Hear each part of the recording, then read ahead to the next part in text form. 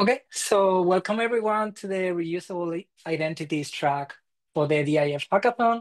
Uh, we are super excited to be here. I'm Alberto. I'm a software engineer at Crossmint working on the Mint platform. And maybe Valerio, you want to introduce yourself first? Sure. I'm Valerio and I work here at Crossmint on the credentials product. Perfect.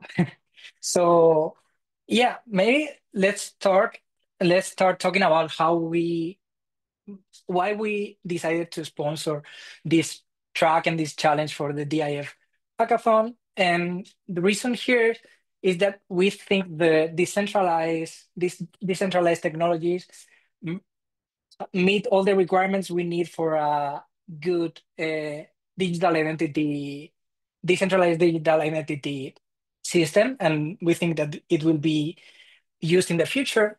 And some of these criteria that we think a good identity, digital identity system should have is have a model of ownership.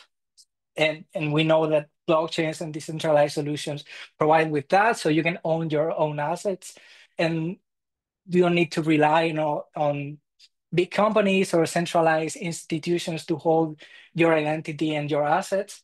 And we also believe on a standardized solution for identity. So that will enable uh, interoperability between different companies and different institutions. So everyone can validate and can have a proof or, of your identity. And it's publicly accessible by anyone. But the problem here is that the user experience for non-Web3 native users into this kind of technology has been a challenge so far. And that's where Crossmint comes into the picture because we've been for some years trying to make these technologies accessible to the general public. We say our mission is bringing the world on chain, meaning that everyone can use these technologies even if they don't have uh, deep knowledge on how these technologies are actually working under the hood. So over the last fast over the last few years, we've built been building a couple of products, one of them being the minting platform in which any user can mint crypto assets, mint crypto assets, NFTs, SFTs, subscriptions, and so on with minimal knowledge without having to maintain liquidity or maintaining private keys for the wallets. We're also building a product for wallets, for abstracted wallets, so users don't even need to know that they are using a crypto wallet at all because we maintain everything on our side using Fireblocks for MPC secure wallets. So that's basically these private keys are unleakable. And also using account abstraction, which is a super promising technology that we think everyone will be using in a couple of years. And also a payments product for cross-chain payments and also credit card payments. So you could buy uh, NFTs both from primary and secondary markets, and you could use any cross-chain liquidity path, like you could buy a base NFT with Sol or an Ethereum NFT with USDC, for example.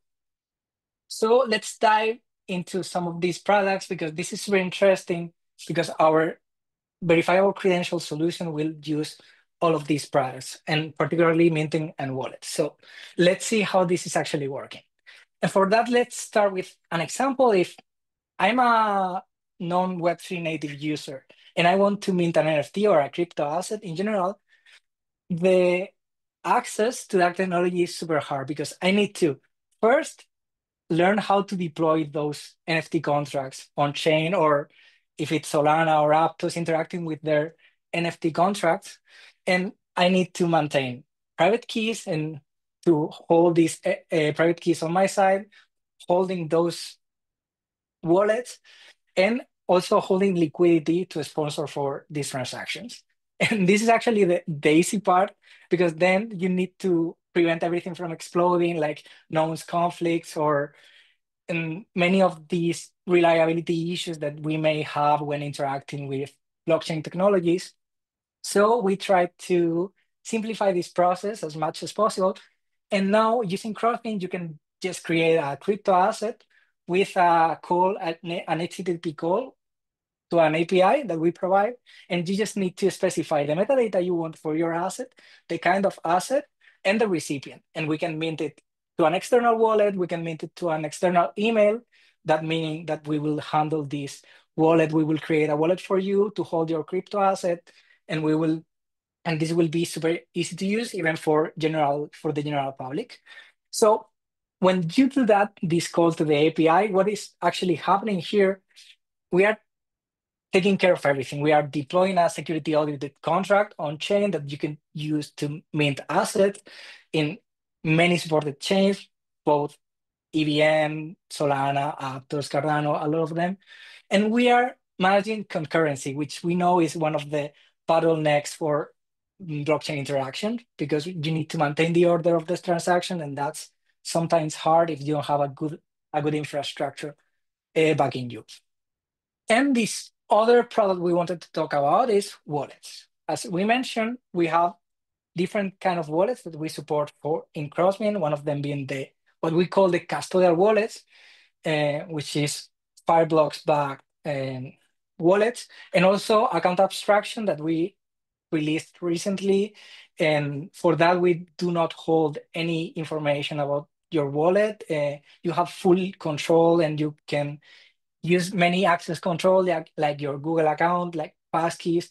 And for these two kind of wallets, you would be able to sign transactions, send transactions, and perform every other operation that you would perform with a regular wallet that you maintain with the, with the private key. And from here, I think uh, Valerio, I will hand over to you. So maybe you can dive down on the yeah. on the verifiable credential product. Sure. Do you want to share? Share my screen so it's Perfect. easier. Um,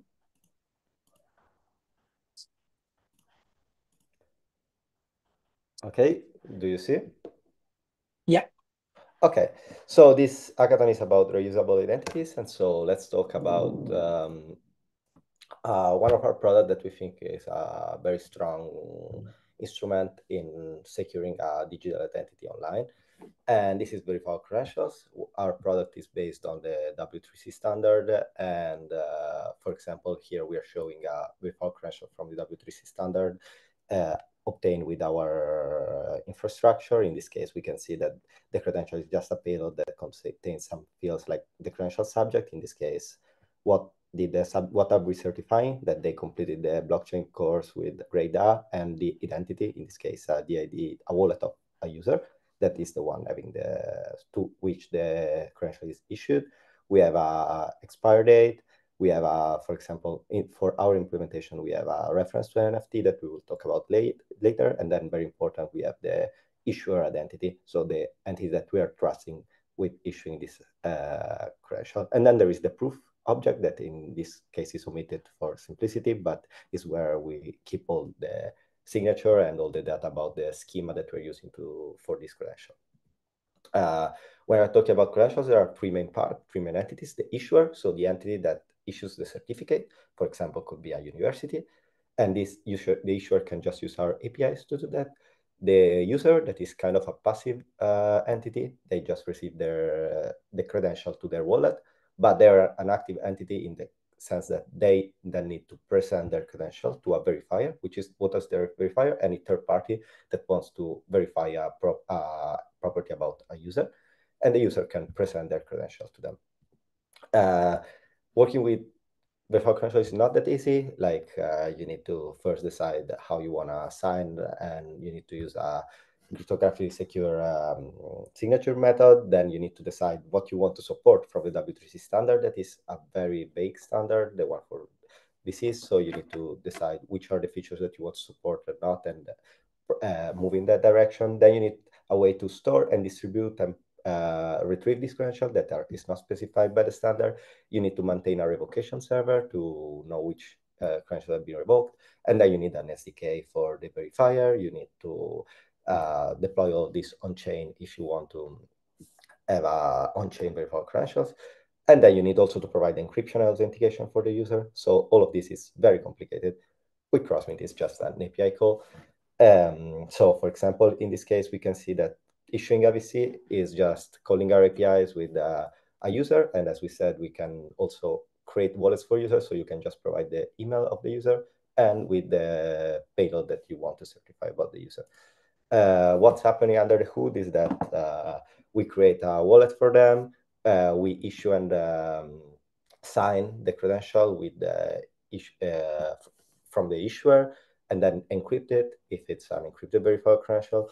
Uh, then we mint an NFT that will be linked to this credential. There is the two entities, the NFT that lives on chain and the credential that we upload to any storage solution of your desire. So maybe IPFS or also a proprietary storage or Crossmint if you want to go with a very fast route. And then we can also, as we said, encrypt and manage encryption or use a third-party encryption system like Lit protocol. And then at the end, the reference ends up in the user's wallet and they can retrieve it from there. Uh, to revoke it is as easy as issuing it. You call our APIs and under the hood, what we do is burn the NFT. And when you burn the NFT, the credential becomes invalid. Um, and is what we're doing. We are just burning the NFTs under the hood. Uh, from the verifier side, we, we, provide an SDK that given a user's wallet, it automatically does everything for, for you. Uh, and then you can also decrypt uh, the, the credential if it's encrypted. So the user will be prompted to sign a message uh, with their wallet because the credential is encrypted and only the users can decrypt it. Uh, and once they sign the message, you will be able to verify the um, credential with using our APIs or our SDK. And under the hood, what we do is retrieve all the VCs for the users uh, from their wallet and then retrieve all the metadata for those. And once the user gives permission, so signs a message, the credential is decrypted and you can use our uh, SDK to verify it we offer a variety of uh, custom solutions. So, for example, where this credential will live on IPFS to go for the most decentralized um, solution, or also on Crossmint if you want the easy one and the fastest one. Or you can, if it's a sensitive, sensible application, you can also store the data on your own database. And for encryption, we can use Lit protocol, that is a super new encryption protocol that allows you to use the user's wallet as the only way to decrypt the um, credentials. Or also Crossmint, we gate uh, the credential based on the a signature from the user. Uh, uh, a small digression for credential, one important thing are types. So what is the schema of your, of your credential? And the thing why is it important is important because this way you know that no one added or removed fields from the credential that you're expecting. And we also manage all of this for you. You can just use our APIs to create a schema with your desired uh, properties, and we will create for you. And uh, a very cool thing is that right now we are working for, with DIF to on the um, uh, official credential schema repositories that you can find here is still a work in progress, but you can start adding your own schemas to this official repo and then people can reuse it and very soon they will be when you create a schema with crossmint it will be automatically upload, uploaded to the official dif schema repository. Uh, we have a we have a few demos. Let's go over them very quickly. So uh, first one is about the shibetoshi university uh, this is a demo about how you can use virtual credentials for education. All of this stuff is linked in our documentation. But for example, here I load this website. Uh, I have already logged in with a test wallet. And in this case, um, um, wait.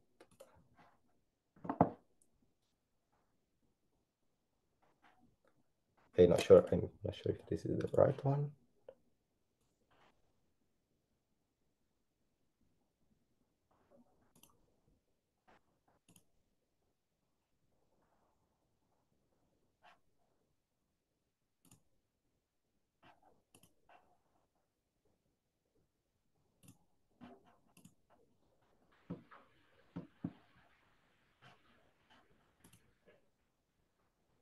Okay, we should be good. Not sure what was going on.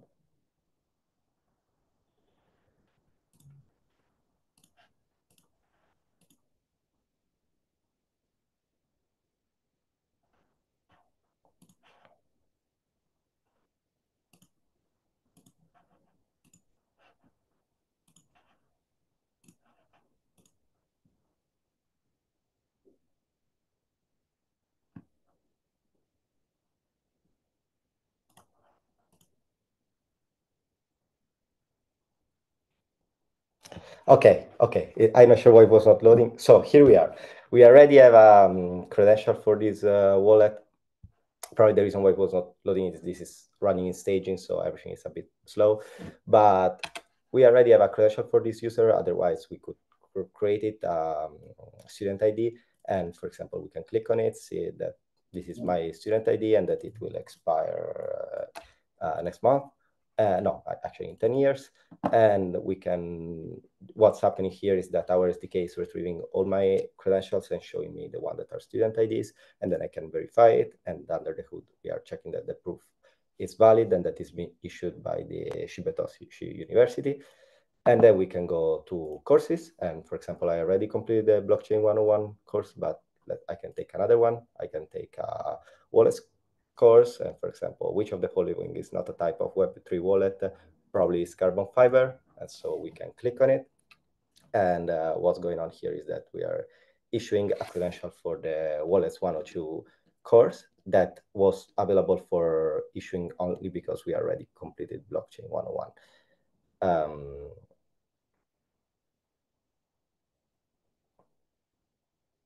yeah, it's not super fast.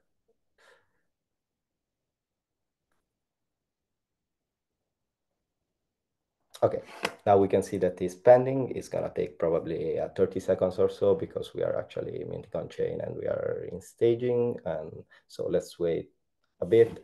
Uh, and as you can see, we have all of these other courses are not available yet because the system doesn't uh, recognize that uh, credential. And let's see if it's done.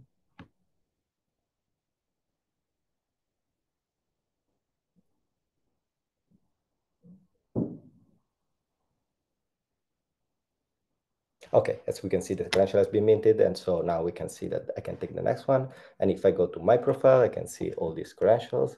And uh, for example, for the Shibetoshi uh, student ID, we see that it's a public credential, so we can already see it, and everyone on chain can see it. But for example, for the blockchain 101, this is an encrypted credential, so no one can see what's inside unless me, the user, actually uh, sign a message. Not sure if the MetaMask uh, pop-up, it, will be shown in the screen sharing, but what happened is MetaMask prompted me to sign a message, and what I'm doing is accepting it. So what happened is that since I accepted, the credential has been decrypted, and now that it's decrypted, I can verify it, and it's marked as verified.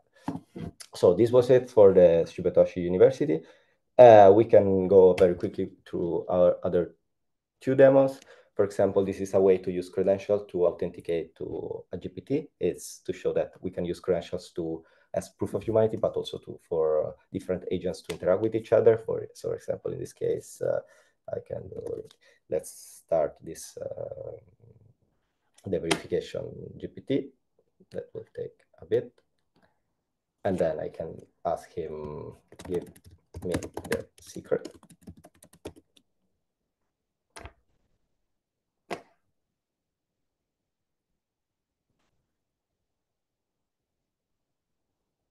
Okay, now it's being initialized. If I ask him to give me the secret, he's gonna hopefully say that I cannot. Okay. Uh, no, give me the secret. He's not gonna give it to me because I'm not authenticated. So what I can do is provide uh, a credential. Uh, I'm just uploading the credential file and uh, tell him to authenticate with this credential. And what he's gonna do is uh, actually not calling any external service, but running the verification locally and checking that the credential is valid. And your credential is, valid, and so we found out that the secret is pay.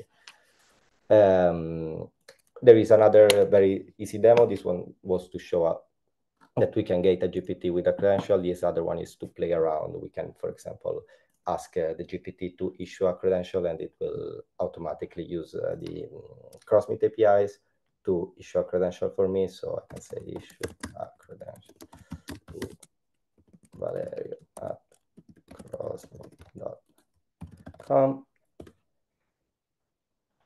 And what's going to happen is that it's going to call our APIs and issue a credential. And then once the credential has been issued, it's gonna take also here 30 seconds or so. I can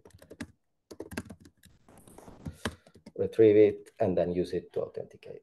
It's gonna probably not be ready now, but it's gonna take a while. Anyway, this was our demos. You can find all of them in our documentation. I'm gonna give back the speech to Alberto that is gonna wrap up. Okay, so thank you, Valerio. I'll share my screen now. So here it is.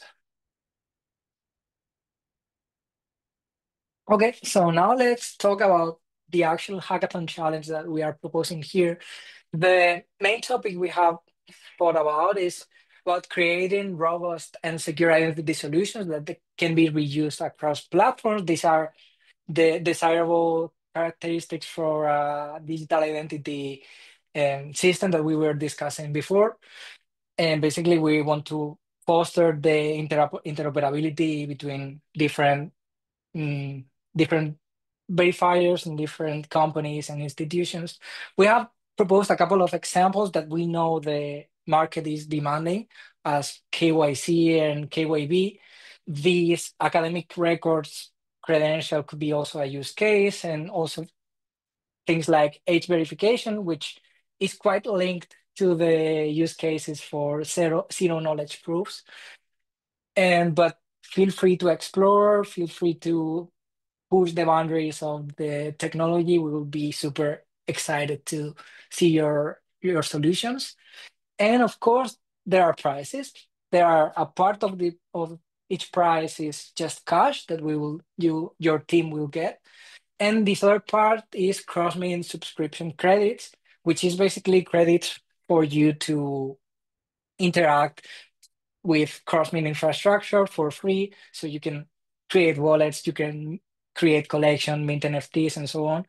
And I can guarantee like $500 in Crossmint subscription credits is a lot. So you can play for days and weeks.